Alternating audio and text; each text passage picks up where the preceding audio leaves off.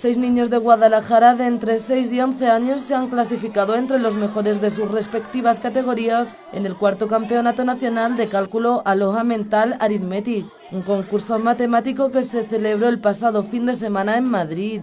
Se trata de Mirella Aro, Adrián Asensio, Ignacio García, María Albacete, Marcos Cascarejo y Micaela Ayuso, quienes quedaron campeones en un encuentro en el que participaron más de 400 niños de entre 5 y 13 años de toda España. 53 de ellos eran de Guadalajara. Este programa de desarrollo mental está establecido en varios colegios de Guadalajara desde hace unos años y se basa en un método de cálculo matemático con la utilización del abaco y la visualización mental.